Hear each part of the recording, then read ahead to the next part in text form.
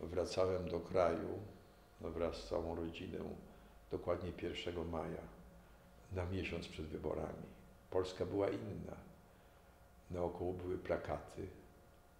Na niektórych z nich byli dobrze mi znani ludzie. I portret Wałęsy, wolne spotkania, manifestacje.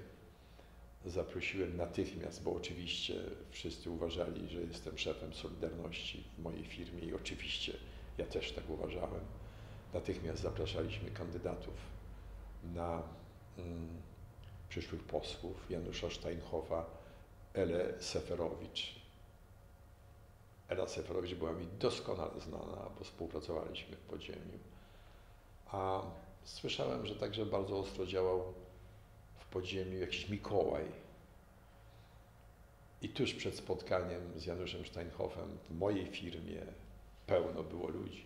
Ktoś mi powiedział, słuchaj, ty wiesz, że Mikołaj to jest Janusz Steinhoff? Nie wiedziałem, ale na schodach powitałem Janusza Steinhofa, mówiąc mu, witaj Mikołaj, jestem Karol.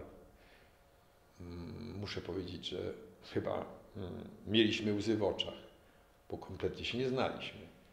Więc to były niezwykłe czasy i ja też pamiętam, że wiele lat potem, w 2005 roku byłem już w Parlamencie Europejskim, zawsze uważałem, że pobyt na wujku tutaj jest kluczowy. Tu trzeba być. Każdego 16 grudnia. Absolutnie. Szkoda, że tak mało prezydentów odwiedziło to miejsce. Także brakuje tu zawsze prezydenta Wałęsy. Ale ja w 2005 roku mm, zadecydowałem o tym, że nagroda imienia biskupa Hrabka, wielkiego człowieka z Radomia, który mówił, że każdy z nas powinien żyć tak, aby pozostawić po sobie ślad. Ta nagroda przy, przypadła pani Wenda i księdzu Bolczykowi.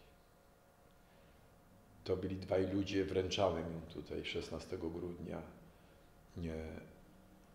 2005 roku e, w obecności księdza arcybiskupa Damiana Zimonia, żeby cała Polska jeszcze raz dowiedziała się, jakie były nazwiska tych, którzy przeżyli wujka i którzy własną piersią ochraniali górników.